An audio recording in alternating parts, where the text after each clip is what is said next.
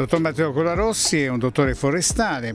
eh, con lui facciamo un discorso che riguarda certo il verde pubblico ma riguarda anche un concetto generale di sostenibilità verso la quale un po' tutti vogliono andare adesso come linea di principio. C'è una sostenibilità anche nell'utilizzo del legno ad esempio e il vostro ordine nazionale ritiene che lui abbia ragione a tutelare per esempio l'acquisto di legna che deve rispettare determinati requisiti. Sì, eh, l'ordine nazionale non, non fa altro che citare quelle norme di buonsenso che vengono dall'Unione Europea e che vedono appunto la forte limitazione di importazione di legname proveniente da deforestazione dai paesi poveri o in via di sviluppo. Eh, non ci dimentichiamo che l'Italia è il primo importatore di legnami al mondo ed è anche il primo esportatore di mobili al mondo eh, ed è anche il secondo o terzo importatore di legname da ardere a livello europeo.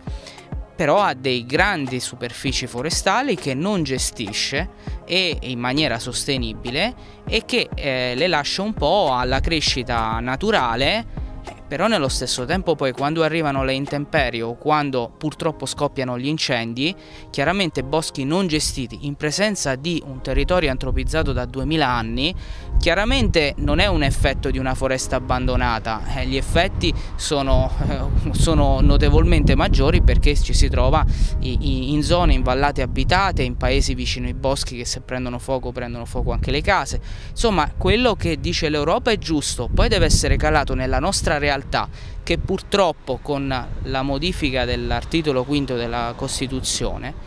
è passata in mano alle regioni e non tutte le regioni hanno la stessa gestione forestale, cioè come se fossimo tornati nell'Italia preunitaria. Detto ciò, eh, visto che siamo in un momento di grave carenza energetica e dove la legna da ardere diventa fondamentale e visto anche che le importazioni dalla Romania sono bloccate perché la Romania ha deciso di utilizzare per sé la legna d'ardere con la mancanza di gas, chiaramente il tema dell'energia deve tornare in maniera assolutamente in mano allo Stato. L'energia parliamo non solo di gas, di autorizzazioni paleoliche e quant'altro, ma l'energia è anche la legna da ardere, le biomasse legnose, il cippato, il pellet, cioè il famoso teleriscaldamento che viene fatto in Trentino Alto Adige viene fatto perché hanno un'autonomia che gli permette loro di avere in ogni paese una caldaia a cippato, una caldaia a biomasse legnose che non inquina, perché il legno non inquina, la CO2 del legno è già nel ciclo del carbonio calcolata, piuttosto sono i fossili che dal sottosuolo non sono nel ciclo del carbonio aumentano la quantità di CO2 nel, nel ciclo del carbonio e quindi nell'atmosfera. Quindi diciamo benissimo l'Europa, benissimo il comunicato del nostro ordine nazionale che noi riportiamo fedelmente e sottoscriviamo fedelmente.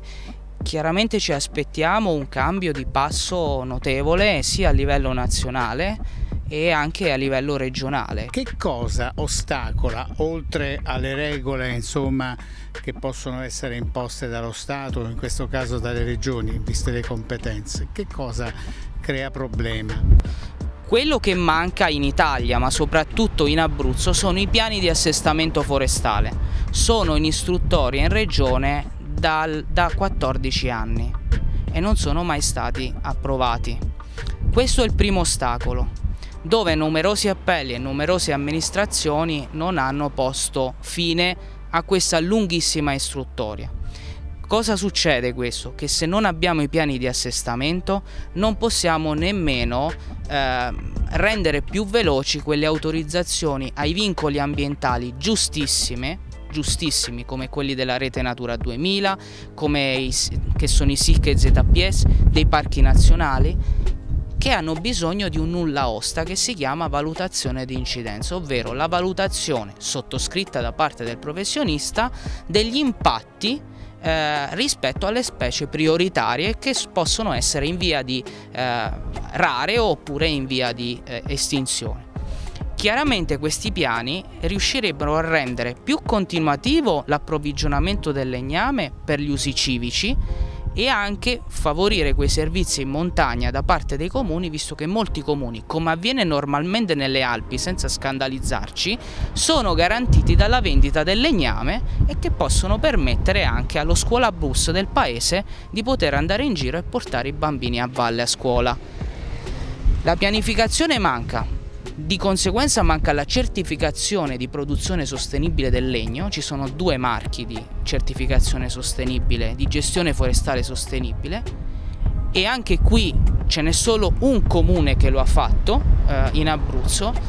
E oltre questo manca ovviamente la continuità, ma la continuità la si crea soltanto se abbiamo uno strumento che è il piano di assestamento forestale che tra l'altro è obbligatorio per il testo unico delle foreste, legge nazionale, e che ad oggi eh, è, lo vediamo ancora bloccato in istruttoria.